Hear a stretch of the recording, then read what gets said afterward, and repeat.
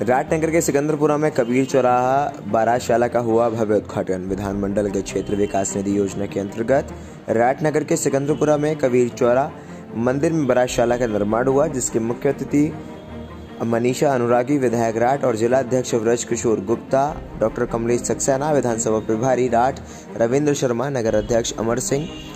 जिला अध्यक्ष भरत अनुरागी विधायक प्रतिनिधि सुरेश गिरी किसान मोर्चा नगर उपाध्यक्ष प्रेमचंद अनुरागी किसान मोर्चा नगर महामंत्री एवं नीतू भटनागर नीसू भटनागर सभी कार्यकर्ता मौजूद रहे।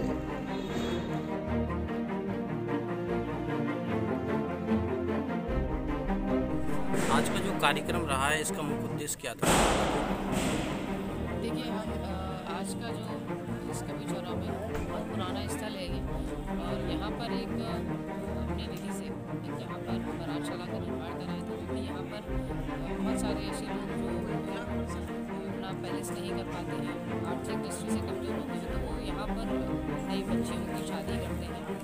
तो थोड़ी सी असुविधा उनको यहाँ पर रहती थी तो उसी असुविधा को देखते हुए यहाँ पर एक बरातशाला का निर्माण कराया गया है, जिससे यहाँ पर जितने भी ऐसी हमारे परिवार की बच्चियों की यहाँ शादी हो गई या बच्चे की शादी हो गई तो वो किसी भी प्रकार की उनको असुविधा मुझे लगता है अब इस प्रांगण में नहीं होने वाली है और आगे उस चीज़ का उनको लाभ मिलेगा। जैसे कि 2022 कल से लगने वाली है सभी लोगों को क्या संदेश देना चाहते हैं? देखिए ये हमारा नूतन वर्ष है तो इस